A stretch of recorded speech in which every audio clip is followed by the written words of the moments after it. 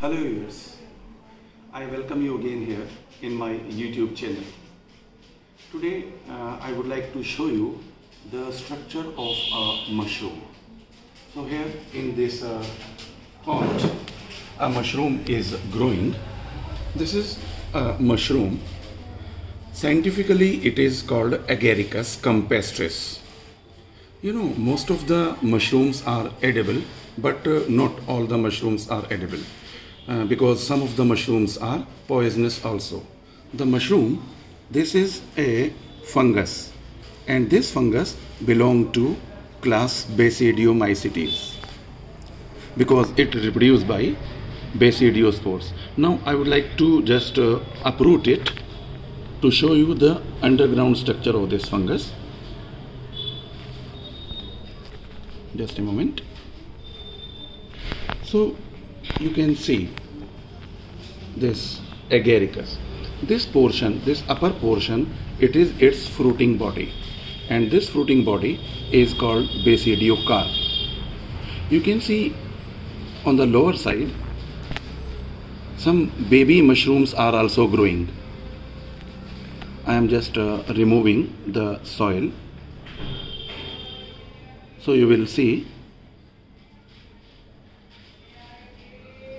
its uh, underground portion. You can see a baby earthworm is also here.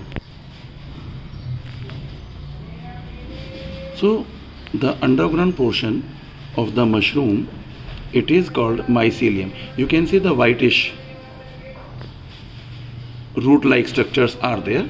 These white root like structures. This is the mycelium. And from this mycelium in favorable season the fruiting body grows. This is the upper part is fruiting body and this is mycelium. The fruiting body has the stalk. This stalk is called stipe. The stalk of mushroom is called stipe.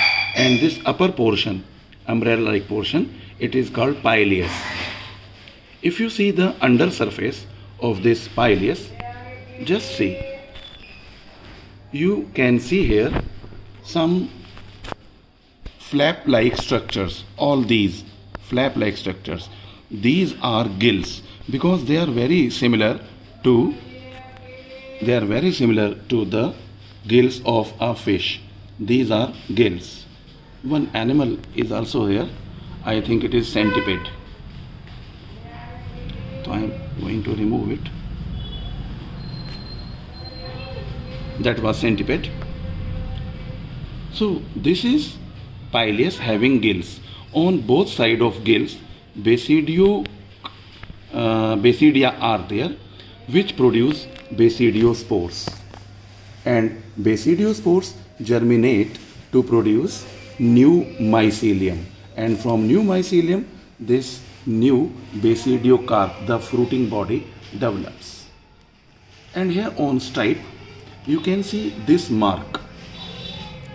This mark is there this mark is annulus actually when the mushroom was young as here you can say the young mushroom uh, the pileus was folded like umbrella. So at this point the margin of pileus was attached. But as it matures it becomes unfold. And it just opens. So the gills are exposed. Gills are exposed. Basidiospores are spread and basidiospores germinate to produce new mycelium which will develop into a new fruiting body. So that was a mushroom, the agaricus. If you like this video then please like, share and subscribe my channel.